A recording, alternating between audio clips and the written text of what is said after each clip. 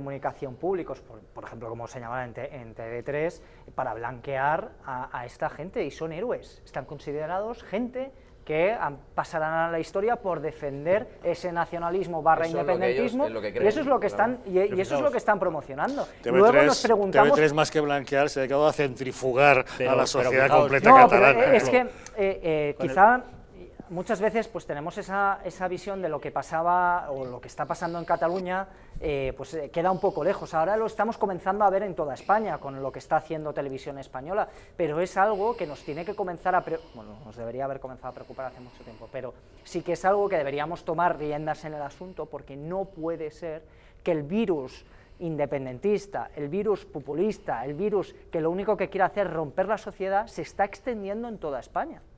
Es que hoy es normal que a la salida de un Parlamento, como ha pasado en la Junta de Andalucía, que no nos gusta el, parlame- el, eh, Parlamento o el gobierno que Gobierno. está, y en ese momento pues vamos a enviar autobuses ¿eh? del Partido Socialista a rodear la. Junta de Andalucía porque no nos gusta.